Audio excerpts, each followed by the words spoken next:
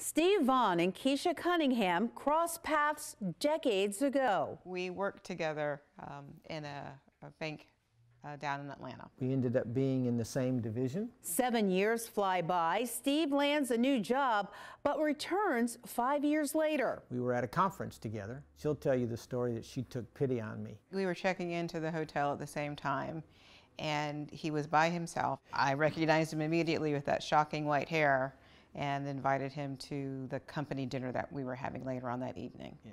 And we sparked and talked. That was the beginning of this. Of their love connection. I always liked her smile. His intellect. He's very smart, but also approachable, and he was nice to me. For a lot of different reasons, we didn't advertise the relationship necessarily. But a front page cover did. I got a phone call from one of my staff people, and they said, Well, you just need to understand there are two pictures on the front page. One is of Barack, and the other one is of you two. That's it on the front page. and I went, Oh, okay, okay, now I get it. While Keisha continued to work in Georgia, Steve moved to Harrisburg for a new adventure. Keisha eventually joined him. Then the pandemic struck. We just decided to to cling to each other and over dinner on a Saturday night, I said, you know, we need to do this let's go ahead and get married. And then I said, I really like the date 10, 2, 20. Being math people, 10 times 2 is 20. It's all even. Both hoping the odds would be in their favor.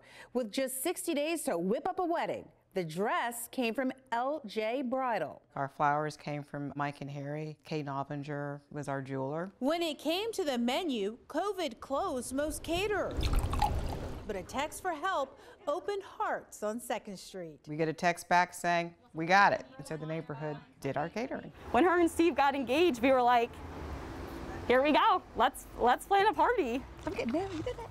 I'm getting married. I'm getting married. I'm terribly nervous. Terribly, terribly nervous. The big day. An outside backyard very small wedding. He said you'd take my breath away, and that's true.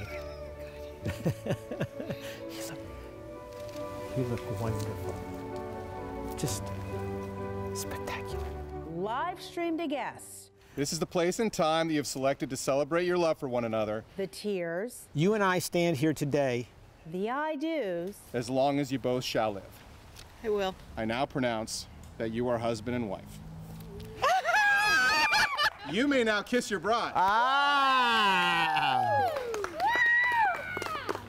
The procession, celebrated by pandemically socially distanced well-wishers. We had a gallery of neighbors across the fence who wanted to partake and be part of our day. The Vaughn's vows strike a chord. Just this sense of committing to ourselves in the twilight of life is something that you then remember every day counts.